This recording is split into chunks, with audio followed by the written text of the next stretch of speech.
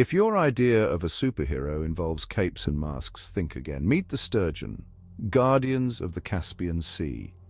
These ancient fish have roamed our waters for over 200 million years, playing a crucial role in maintaining the ecological balance of the Caspian Sea. But today, sturgeons are in grave danger.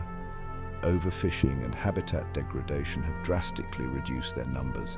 Why does this matter? Sturgeons help keep aquatic ecosystems healthy by controlling populations of smaller fish and invertebrates. Without them, the delicate balance of the Caspian Sea is at risk. Kazakhstan is stepping up in this battle. From stricter fishing regulations to habitat restoration projects, efforts are underway to save these majestic creatures. But they need our help. By supporting sturgeon conservation, we're not just saving a species, we're preserving an entire ecosystem.